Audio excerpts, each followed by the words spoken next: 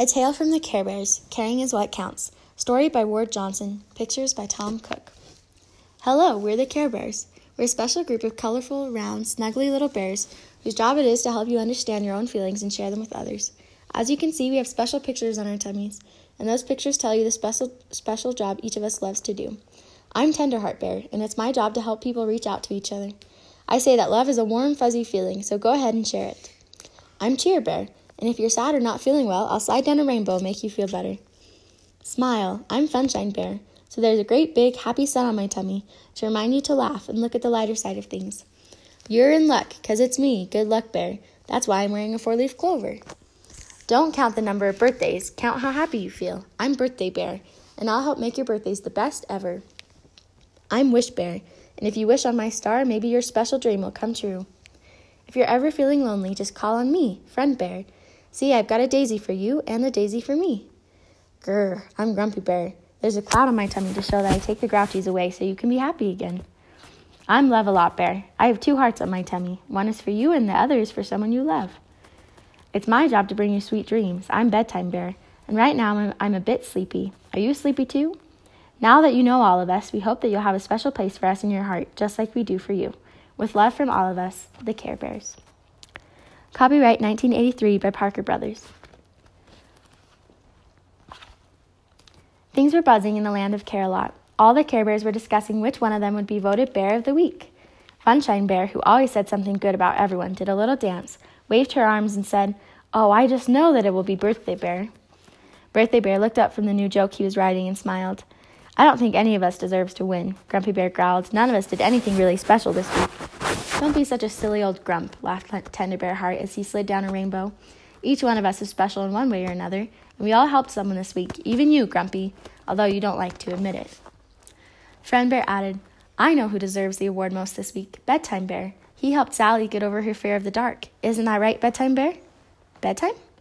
But Bedtime Bear wasn't listening. He'd fallen asleep on a comfortable cloud. They were interrupted by the caretaker, who suddenly stopped shining a rainbow and called out, I think I hear someone crying. Care Bear alert! Care Bear alert! Whenever the Care Bears heard those words, they knew that they were really needed. They all ran to the edge of their clouds and looked out to see why the Care Bear alert had sounded. They saw a boy and a girl standing on a street corner. The boy looked angry, and the girl was crying. Please don't go, Kevin, the girl sobbed. You won't solve anything by running away. Kevin answered, I've got to get away, Donna. My parents don't understand me. They hurt my feelings. And now they want to move to a strange new town. I won't go. I'll run away first. Kevin, you know sometimes friends can help when you feel that no one else understands, Donna answered. If you talk to me, maybe I can help you feel better. Kevin gave a sad smile. Thanks, Donna, but I made up my mind. I'm going to some place where no one can make me feel bad any more. Kevin turned and ran down the block. When he reached the corner, he waved briefly to Donna and then was gone. Oh, Kevin, please be careful, Donna called after him. Friend Bear turned to the others. It looks like Donna needs the help of a caring bear. Who will help her? I will, shouted all the bears at once.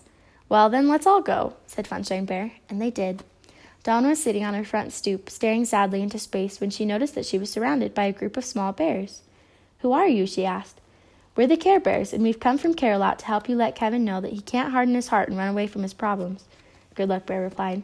Oh, thank you, Donna said. Can you help me find him and bring him back? Well, we're not here to bake cookies, growled Grumpy Bear. Let's get going. While the Care Bears were talking to Donna, Kevin made his way across the city to a rusty gateway that opened on a large park. Kevin was thirsty, and he saw a water fountain sparkling in the park. He went inside to get a drink, but he soon noticed that it was not a very nice place. The plants and flowers drooped, and the grass under his feet was dry and brown. Before he could walk to the fountain, he heard a screechy voice say, I see you've come for a drink from my wonderful fountain, and it looks to me like you'll do. Kevin looked around and saw an old, odd looking man walking toward him. I'll do for what? said Kevin, suddenly afraid. First of all, let me introduce myself, said the man. My name is Professor Coldheart, M.S. What does the M.S. stand for? Kevin asked. Mad scientist, of course, said Coldheart.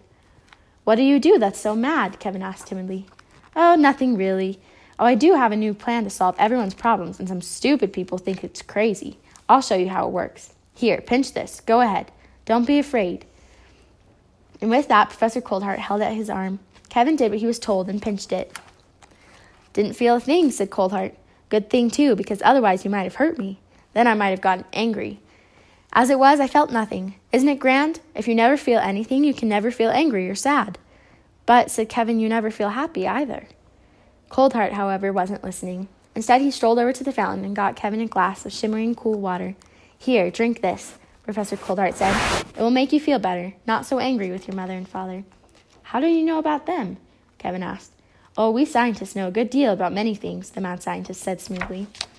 Kevin was feeling so bad inside, and Coldheart seemed so sure of himself that Kevin reached out, took the glass, and drank the water.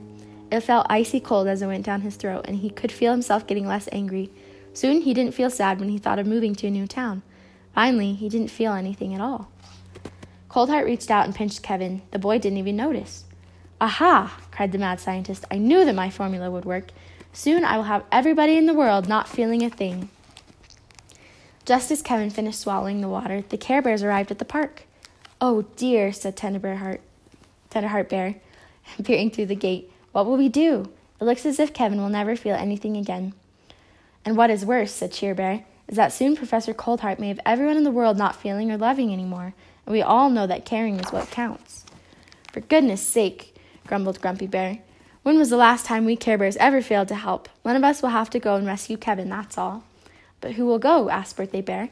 The thought of it makes me feel like a party without ice cream. Why don't you go, Grumpy? asked Funshine Bear. What a terrible idea, growled Grumpy Bear. All right then, sighed Friend Bear. I guess you shouldn't go. That's even a worse idea, said Grumpy, and he floated up and over the gates to the park. He was soon standing next to Coldheart.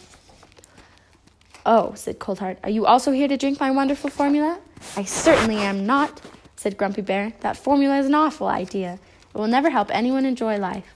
Coldheart laughed and then said in a very nasty voice, What do you know? You're only a silly little blue bear.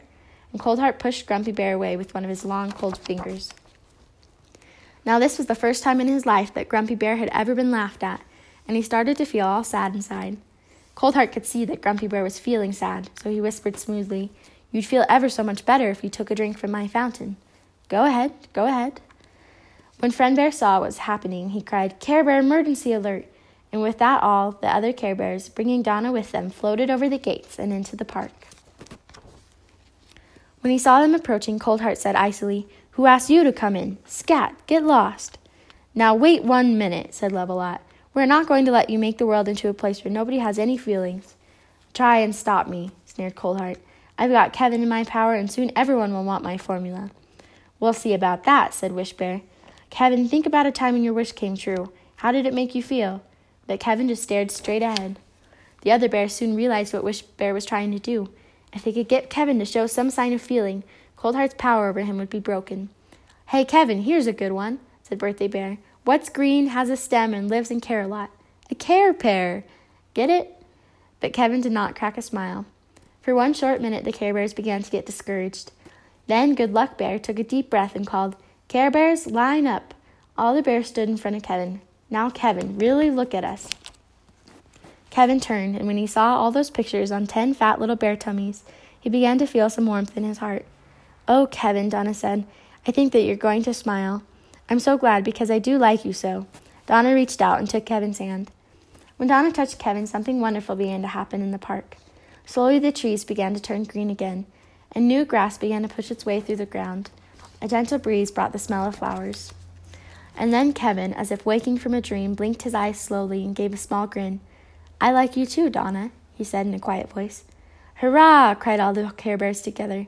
We've broken Cold Heart's spell, said Friend Bear. Cold Heart was wrong. People still do want to share their feelings. I'm so glad, Love a Lot said. Drat, snarled Cold Heart as he scuttled away into the park. The Care Bears have wrecked my plan. I have to come up with something else. So the Care Bears, Donna, and Kevin all went back to Kevin's house. When they got to the door, Funshine Bear said, Now, Kevin, go in there and try to talk out your problems with your mother and father. It won't be easy, but we know that you can do it. Won't you come with me? Kevin asked. No, said Good Luck Bear as he handed Kevin a four leaf clover. But take this for luck, and remember that if you ever need us, we'll be around. I promise that we'll think of you and watch you from Care-a-Lot. And they did.